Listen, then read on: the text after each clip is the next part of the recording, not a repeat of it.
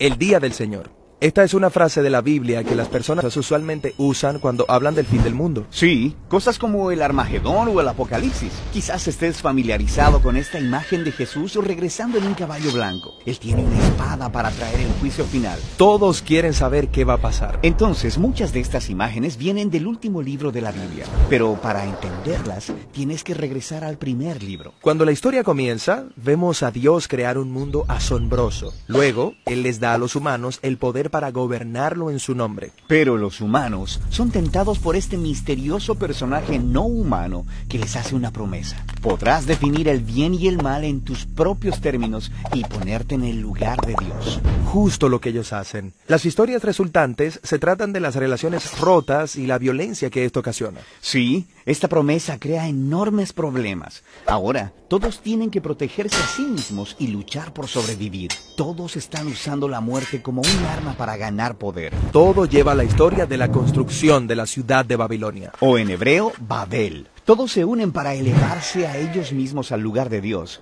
Y Dios sabe lo devastador que esto podría ser. Toda una cultura redefiniendo el bien y el mal como si fueran Dios. Así que Dios confunde su lenguaje y los dispersa. De aquí en adelante, Babilonia se convierte en una clase de ícono en la historia bíblica. Es una imagen que representa la rebelión corporativa de la humanidad contra Dios. Y la siguiente vez que vemos esto es en la historia del antiguo Egipto. Es cierto, el faraón, rey de Egipto, se siente amenazado por estos inmigrantes israelitas. Él empieza a matar a todos los niños y esclavizar al resto. Esto es realmente malvado. Sí, Egipto es como una Babilonia más grande y malvada. Ellos se cuidan a sí mismos a costa de los demás, redefiniendo el mal como bien. Así que Dios le retorna a Faraón su propio mal. Su orgullo lo impulsó y fue tragado por la muerte. Después de esta gran liberación, los israelitas cantan una canción acerca de cómo Dios es su guerrero que los liberó del mal. Los israelitas se referían a este momento como el día, el día en que fueron rescatados de un sistema humano corrupto. Y cada año, desde ese momento, los israelitas han celebrado el día de su liberación con una cena simbólica de un cordero sacrificial.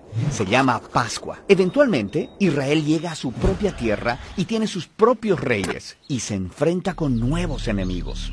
Así que ese pasado día del Señor, celebrado en cada Pascua, comienza a generar la esperanza de que Dios traerá el día de nuevo para salvar a Israel de las nuevas amenazas. Ahora, allá en las colinas, había un pastor de ovejas llamado Amós. Él fue designado por Dios como profeta para anunciar impactantes noticias a Israel, que Dios traería otro día del Señor contra sus enemigos. Y esta vez el blanco es Israel. ¿Qué? Tristemente, los líderes de Israel también habían redefinido el bien y el mal por sí mismos, resultando en corrupción y violencia. El pueblo de Dios se ha hecho como Babilonia. Los oprimidos se convirtieron en opresores. Babilonia parece como una trampa de la que nadie puede escapar. Así que el día del Señor viene sobre Israel. Son conquistados, llevados cautivos al exilio. A partir de ese momento, Israel sufrió bajo el gobierno de continuos imperios opresivos. Esta es la historia en la que nació Jesús. Sí, en ese tiempo el imperio opresivo sobre Israel era Roma. Entonces va Jesús a confrontar a Roma, deshacerse de ellos. Bueno, no. Jesús vio como el verdadero enemigo a ese mal misterioso y no humano, ese mal que había seducido a Babilonia, Egipto, Roma e Israel. Toda la humanidad se ha rendido a la promesa del poder del maligno. Esto es lo que Jesús resistió solo, en el desierto, cuando fue tentado a utilizar su poder con fines egoístas. Pero él no lo hizo. Después de eso, él empezó a confrontar los efectos del mal en los demás. Empezó diciendo que iría a Jerusalén para la Pascua, para una confrontación final con el mal de Israel y Roma, muriendo. Morir. Pero eso luce como un fracaso. Jesús dejaría que el mal agotara todo su poder sobre él, usando su única arma verdadera, la muerte. Jesús sabía que el amor y la vida de Dios eran todavía más poderosos, que Él podía vencer al mal volviéndose el Cordero de Pascua, entregando su vida en un acto de amor. Y algo cambió ese día. Cuando Jesús derrotó al mal, Él abrió un nuevo camino para que cualquiera pudiera escapar de Babilonia y descubrir esta nueva clase de poder, esta nueva forma de ser humano. Ok, Así que algo cambió, pero el poder del mal todavía está vivo y funcionando, y nosotros seguimos construyendo nuevas versiones de Babilonia. Cierto. El último libro de la Biblia, Apocalipsis, apunta hacia el futuro y el último día del Señor. Es cuando el reino de Dios viene a confrontar a la gran Babilonia. Es la imagen de todas las naciones corruptas del mundo. Sí, eso es todo. El Armagedón, el juicio final. ¿Cómo acabará Jesús con el mal? Bueno, no es lo que podrías esperarte.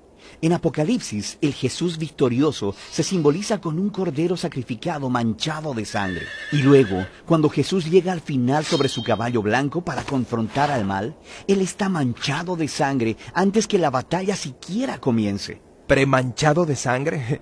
Eso es una imagen extraña. Más bien, Él venció con su sangre cuando murió por sus enemigos. Y la espada está en su boca un símbolo de la autoridad de Jesús para definir el bien y el mal y hacernos responsables cuando traiga finalmente la justicia de una vez por todas. Y así, mientras tanto, el Día del Señor es una invitación para resistir la cultura de Babilonia. Y es una promesa de que un día Dios liberará nuestro mundo de la corrupción y traerá las cosas nuevas que tiene preparadas.